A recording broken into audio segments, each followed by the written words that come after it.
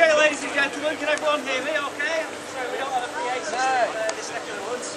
Uh, I'd just like to uh, welcome you all to uh, the DRS Depot and crew and, uh, and thank you all for coming. We've got a lovely day today and uh, I hope you all have had and are having a, uh, uh, a very nice time. We're here today to, uh, uh, to name a very, very special locomotive uh, and I'm uh, very pleased to be able to have uh, Bill Westall from uh, Magnox, uh, Magnox Store, and also uh, Richard Hall, who is the grandson of the gentleman who will today this locomotive uh, after today.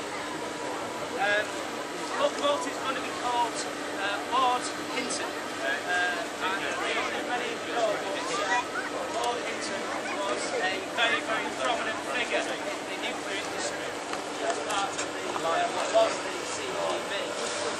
This locomotive has been, um, refurbished and brought into service to support uh, the end of life for the, uh, the Magnox reactors and this will be working on the nuclear services, taking the last, uh, the last spent fuel out of those reactors and, uh, and marking an end to a very, very important, prominent part of, of the uh, British nuclear history.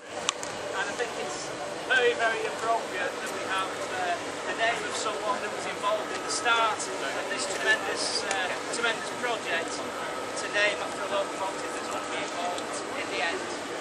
Um, thank you very much to, uh, to Bill. Uh, Bill came up with the idea of the name and uh, we're uh, very, very pleased that he, that, he, did so. It was a uh, inspirational idea, so thank you very much. Bill. I'd just like to introduce uh, Richard Lowe. Richard, as I said, is the, uh, grandson of uh, Lord Hinton. Like to ask him to ask just to say a couple of words before we uh, name the logo. Thank you.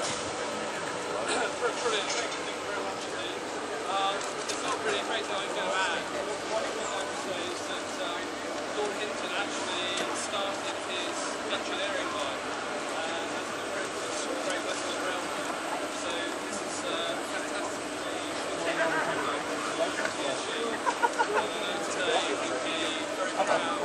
very honoured and very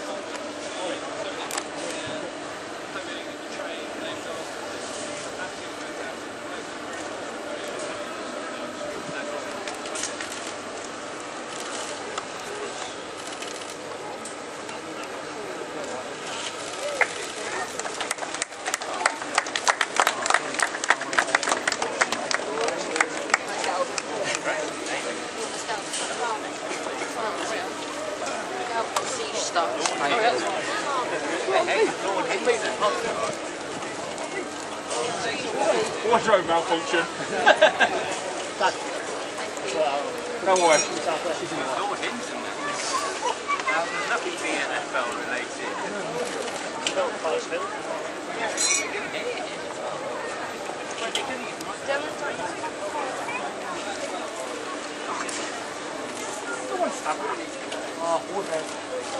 Bit cold.